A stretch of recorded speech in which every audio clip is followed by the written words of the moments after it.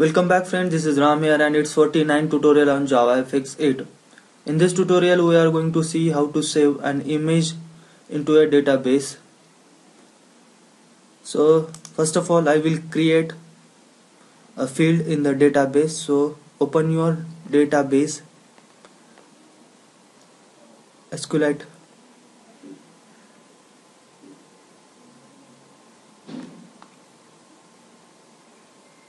that is SQLite manager. And in that go to the structure and create one more field for the image. So I'm going to create the field with the name image and set the data type as a blob. And not null not default. And add this column to the database. So this is the new column in the database with the name image we have added. So this is the new column. Now we are going to add the image in the database. So let's start. So this is 49 tutorial on image and database. So in the last tutorial we have seen how to choose a file and display on the image view. So we have choose chosen a file using file chooser and displayed it on a image view. So in this tutorial we are going to save that Im selected image into our database so to do that I'm going to create one more object with a name say file. Input stream fis and fix the import for file input stream add java io file input stream now we are going to save the selected image using a browse button. And to do that come to the save button action. And in that save button action in the string query add the created field. That is image. And add one more question mark in the values. So now we are going to pass the image to the database. So here we are going to add that image into the input stream. So file fis equals to new file input stream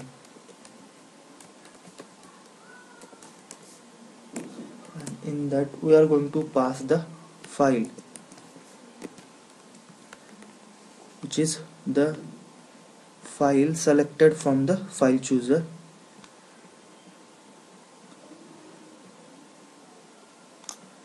So this is the file which we are going to choose using file chooser and this file we are going to send to the file input stream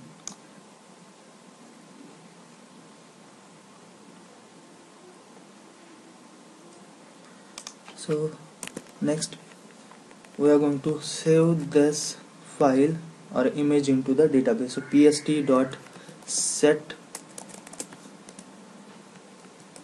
binary stream.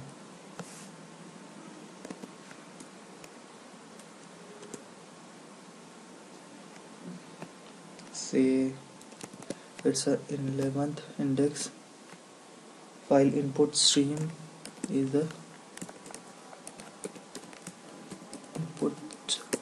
stream.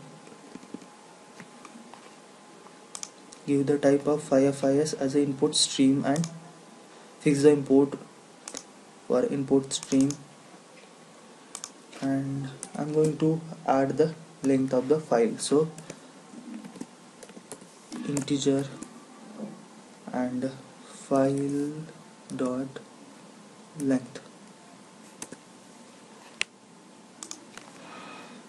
save this. So first of all we have created a file input stream object. Using that we have selected the file chosen by the file chooser. Now next we have set that file input stream to the database using set binary stream with the length of the file. Now similarly add these two lines in the update button such that we can save as well as update the user details. That is we can add the image into the database of the user. So we have done with the now run this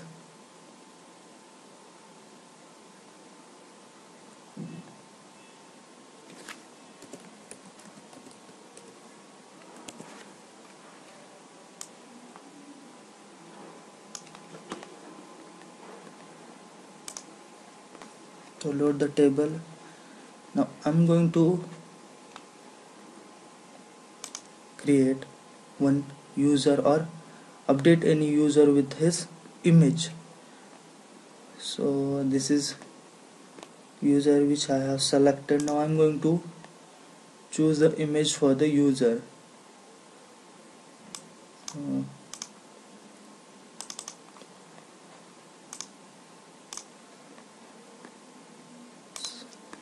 I'm going to select the my image so, and open.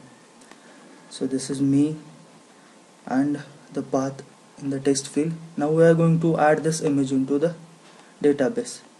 So it will going to save for the selected user. That is the Ram we have selected for the user.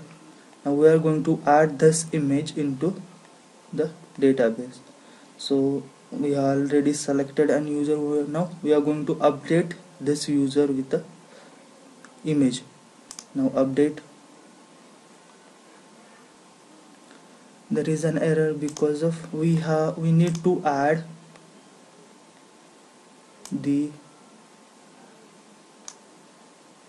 image field into the update button. So come to the update button action and after the hobbies I'm going to add the image with the question mark. So that's why it's going it's going to give an array index out of bound exception. This is the exception generated by the compiler because we need to add the image into a update button action string query so save this and close this and run once again.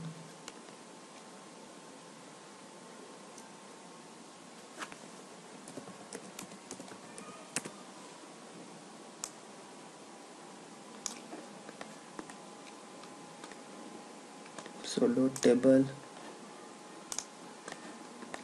So I'm going to choose the image again